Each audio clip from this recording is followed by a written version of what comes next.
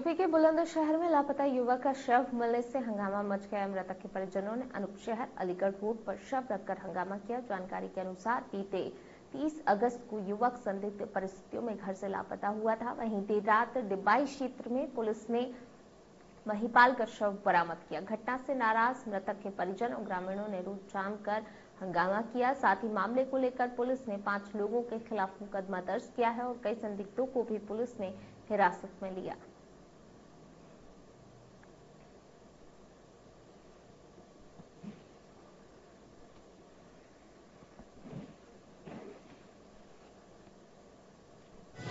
एक महिपाल नाम का युवक, जो कि यावापुर थाना डिवाई क्षेत्र का रहने वाला है, उसकी गुमशुदगी तीस अगस्त को थाना डिवाई पर संदिग्ध हुई थी।